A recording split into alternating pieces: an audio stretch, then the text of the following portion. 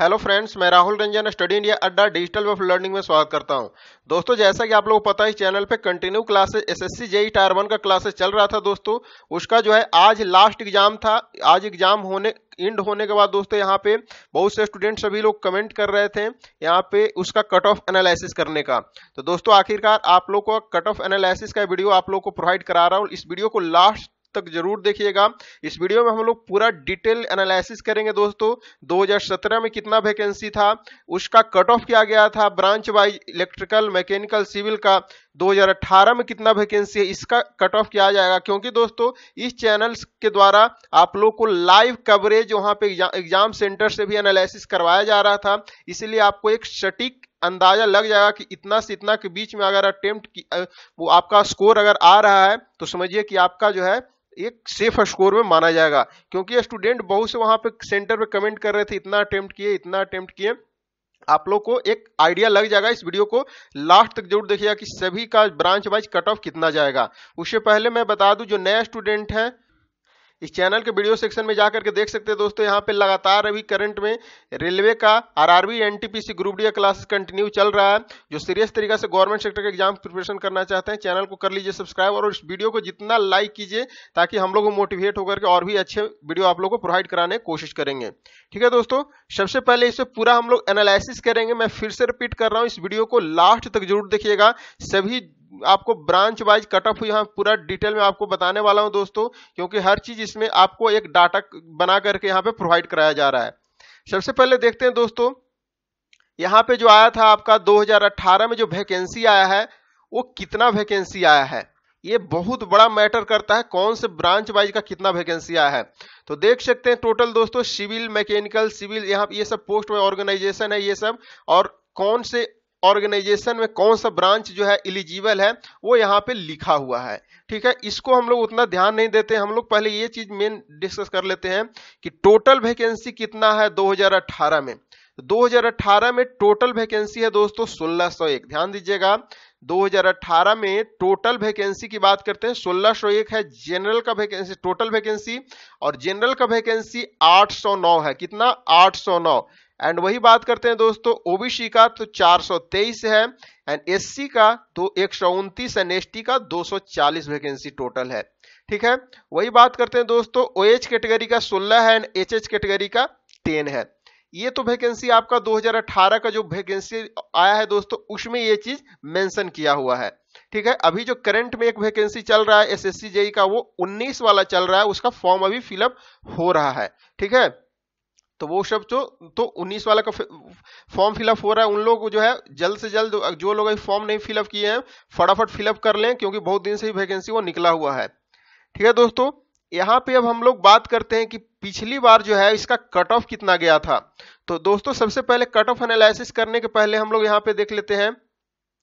देख सकते हैं, जो ऑफिशियल आपको आया था 2017 में जो वैकेंसी वो 2017 में कितना वैकेंसी आया था, वो आपको सबसे पहले दिखा दूँ।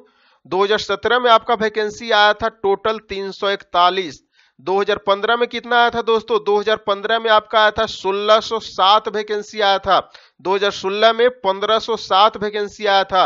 वो 2017 में 341 ही टोटल वैकेंसी आया था। यानी बहुत ही कम वैकेंसी 2017 में आया था। और इस वर्ष जो 2018 में वैकेंसी आया है, वो 1601 वैकेंसी आया है। यानी पिछले की कंपेयर किया जाए तो 2017 कंपेयर में बहुत ही ज़्यादा वैकेंसी है, यानी यहाँ पे 2018 में अच्छा खासा ठीक ठाक वैकेंसी है। तो हम लोग बात करते हैं कि सबसे पहले हम लोग 2018 की कट ऑफ़ डिक्लेयर हम लोग डिसाइड करने से पहले 2018 के कट ऑफ़ जो है, हम लोग एनालिसिस करने से पहले 2017 के कट ऑफ़ पे एक बार ऑफिशियल कट ऑफ़ पे ज़ोर डालते हैं कि उसका कट ऑफ़ क्या गया था।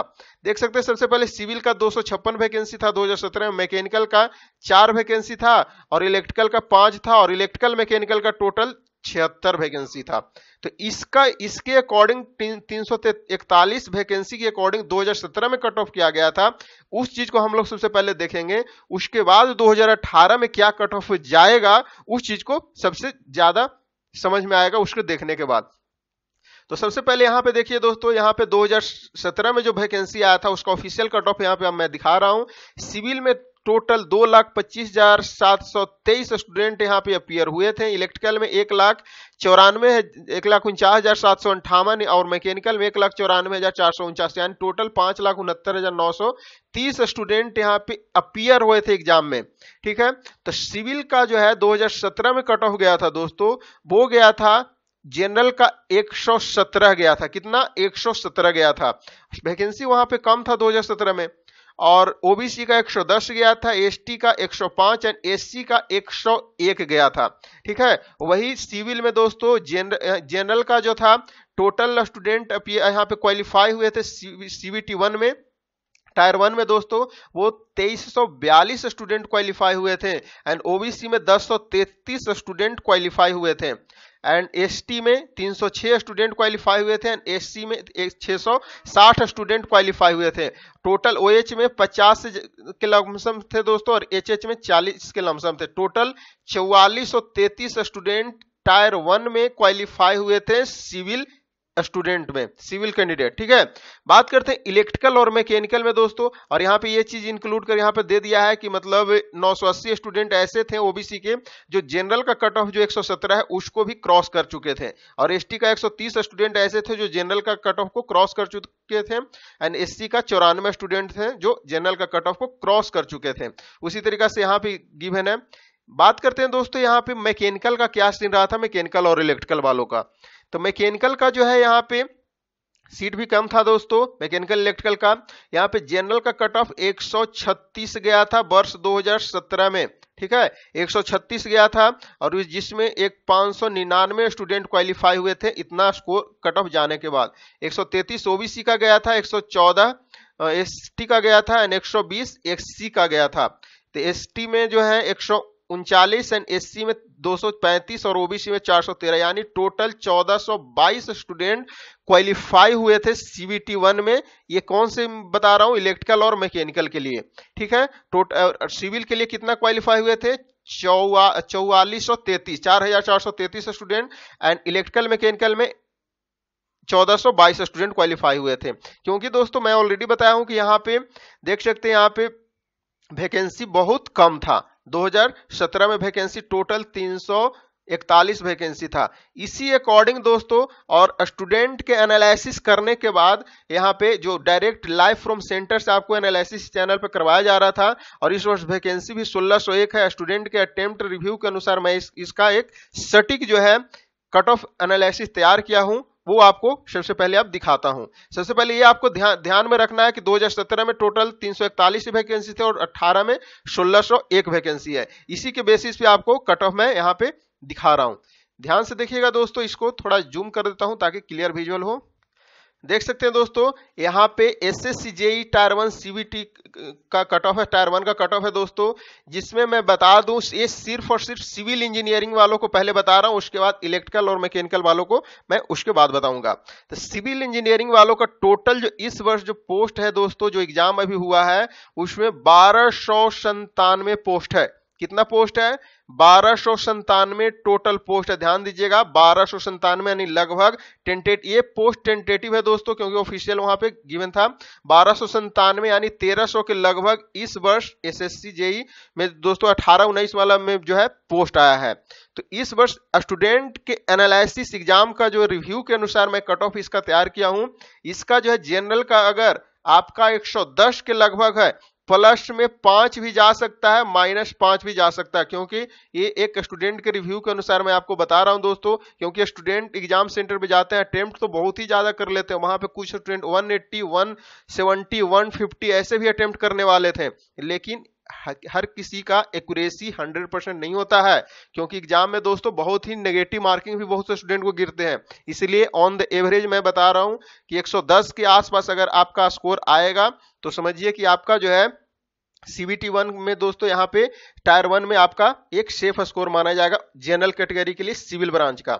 ओबीसी का अगर 105 के आसपास आपका, अगर आपका आ रहा है स्कोर 105 के आसपास तो आपका भी जो है दोस्तों एक सेफ़ स्कोर माना जाएगा सिविल ब्रांच के लिए। एंड एससी का 102 के आसपास आ रहा है तो भी आपका सेफ़ स्कोर माना जाएगा। एसटी का 95 के आसपास आ रहा है दोस्तों तो भी आपका सेफ़ स्कोर माना जाएगा सिविल ब्रांच के लिए। एंड ओ OH का अठहत्तर के आसपास आ रहा है तो भी आपका सेफ़ स्कोर माना जाएगा। और एच का सैंतालीस आ रहा है तो भी आपका सेफ़ स्कोर माना जाएगा। क्योंकि दोस्तों, इन, ये ओ OH और एच का जो है सीट बहुत ही कम था, इस वर्ष भी कम है, इसलिए दोस्तों यहाँ पे स्टूडेंट भी इस, इसमें कम होते हैं इसलिए कट ऑफ़ भी कम जाता है। ठीक है? अगर सिविल ब्रांच के लिए अगर इस रेंज में अगर आप लोग का स्कोर आ रहा है तो समझिए कि आप लोग सेफ़ स्कोर में है। ठीक है? अटेम्प्ट करने के अनुसार एक स्टूडेंट का माइंड में फिट हो जाता है कि हम लोग इतना अटेम्प्ट किए हैं तो इतना तक आ सकता है। ठीक है? उसके अकॉर्डिंग मैं यहाँ पे आपको बता रहा हूँ। और बात करते हैं दोस्तों अब हम लोग चलते हैं यहाँ पे सिविल का तो देख लिया इलेक्ट्रिकल का देखते हैं। मैकेनिकल का यहाँ पे, सबसे पहले मैकेनिकल का यहाँ पे देख लू दोस्तों। मैकेनिकल का जो टोटल यहाँ पे पोस्ट आया है 29 पोस्ट है, कितना? 29 और मैकेनिकल और इलेक्ट्रिकल मिला करके यहाँ पे 43 पोस्ट है। कितना? 29 पोस्ट मैकेनिकल और मैकेनिकल और इलेक्ट्रिकल का 43 पोस्ट है। ठीक है दोस्तों, इसी के बेसिस पे मैं बता रहा हूँ यहाँ पे जनरल का अगर 135 के आसपास आपका स्कोर अगर आता है तो समझिए कि आप सेफ़ स्कोर में माने जाएँगे। ओबीसी में अगर 131 के आसपास आता है तो आपको भी सेफ़ स्कोर माना जाएगा दोस्तों। एससी कैटेगरी का एक सौ सैंतीस के आसपास आता है तो तो भी आपका सेफ़ स्कोर माना जाएगा। एंड एसटी कैटेगरी का 120 के आसपास आता है दोस्तों तो भी आपका सेफ़ स्कोर माना जाएगा। और ओ OH कैटेगरी का दोस्तों, अगर 102 के आसपास आ रहा है तो भी आपका सेफ़ स्कोर माना जाएगा। एच एच कैटेगरी का चौहत्तर के आसपास आ रहा है तो भी आपका सेफ़ स्कोर माना जाएगा। इसमें प्लस फाइव और माइनस फाइव भी कर सकते हैं, क्योंकि दोस्तों, आपका जो कट ऑफ़ आएगा आफ्टर नॉर्मलाइजेशन के बाद आएगा, क्योंकि एसएससी भी आपका नॉर्मलाइजेशन करता है, उसके बाद ही ओरिजिनल कट ऑफ़ आता है। ठीक है दोस्तों? अब हम लोग यहाँ पे देखते हैं S S C JE tier one का दोस्तों इलेक्ट्रिकल ब्रांच का क्या कट ऑफ़ रहने वाला है। ध्यान से देखिएगा इलेक्ट्रिकल ब्रांच का मैकेनिकल से कुछ ज़्यादा सीट है। इलेक्ट्रिकल का दोस्तों 206 यहाँ पे सीट इस वर्ष आया है और मैकेनिकल इलेक्ट्रिकल का 43 सीट है। कितना? 43 43 2018 का जेई का टायर वन दोस्तों जेई का एग्ज़ाम में 43 सीट मैकेनिकल इलेक्ट्रिकल का है और इलेक्ट्रिकल का 206 सीट है। मैकेनिकल इलेक्ट्रिकल कहने का मतलब दोस्तों इसमें मैकेनिकल और इलेक्ट्रिकल दोनों एलिजिबल होंगे इलेक्ट्रिकल में सिर्फ़ इलेक्ट्रिकल ऐसे है। ठीक है? यहाँ पे दोस्तों बात करते हैं जनरल कैटेगरी का अगर 132 के आसपास आपका स्कोर आ रहा है तो समझिए आप भी सेफ़ स्कोर में, माने जाएँगे दोस्तों ओबीसी में अगर एक के आसपास आ रहा है तो भी आपका सेफ़ स्कोर माना जाएगा। अगर इसके आसपास स्कोर आएगा तो भी आपका सेफ़ स्कोर माना जाएगा।